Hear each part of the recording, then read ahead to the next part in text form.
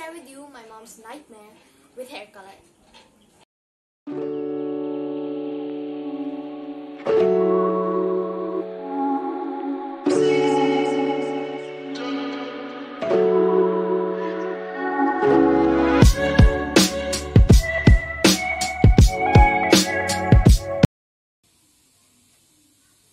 A month ago, my mom decided to curl her hair again. My dad and I told her not to curl her hair anymore because she gets allergic reactions to it.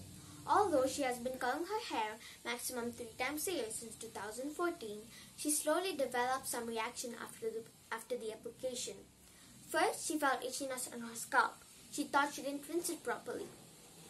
Then, it followed by swelling of her face. Started with forehead, eyes, until her entire face was swollen. She even started having rashes on her neck, chest, ear, and back. Imagine how that felt. Do you know what my mom had as company? This. This is her precious back scratcher. She carries this wherever she goes. She carries this. Not me. This.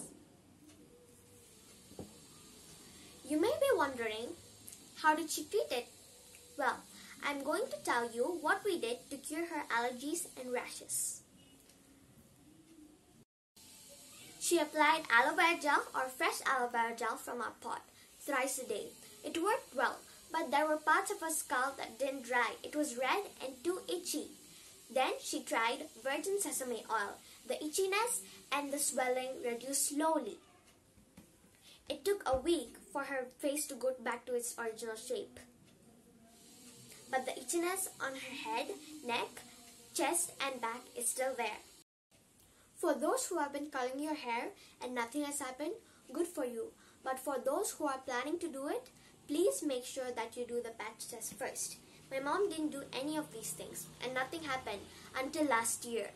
So, if you notice any negative reaction, please stop and don't do it anymore. My mom was lucky because what she had was just mild. According to Google, some people got hospitalized because they had problem in breathing. Most of the time, allergic reaction is because of PPD. Para... See, can't pronounce it. PPD is a chemical that they use to make gasoline, grease, ink, etc. And also, they use PPD for hair color to make the color darker.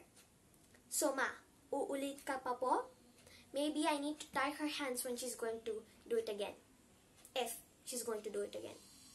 I hope she doesn't do it again because you're beautiful. You're beautiful in my eyes.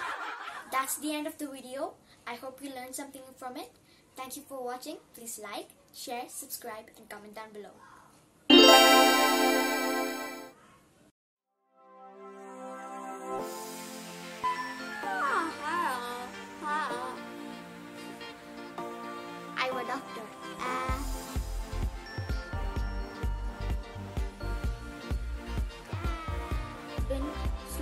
Developing